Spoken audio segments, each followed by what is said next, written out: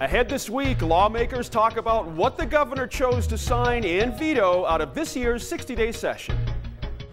I think she's punting and waiting for uh, the Republican line. She is just uh, being very thorough in how she looks at these bills. Plus, embracing the unusual in film, go inside this year's Experiments in Cinema Film Festival with creator Bryan Konefsky.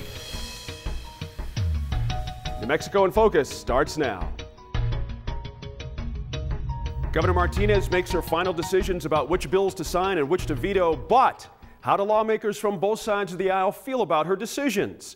This week on New Mexico in Focus, we sit down with state senators and representatives for their take on the final outcomes of this year's 60-day legislative session. We'll also get insight and analysis from our line panelists on what comes next for lawmakers and the governor moving forward.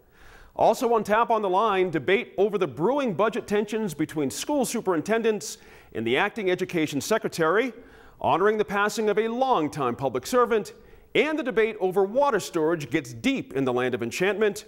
And this week, we also take a look at the other side of the film industry here in New Mexico and abroad.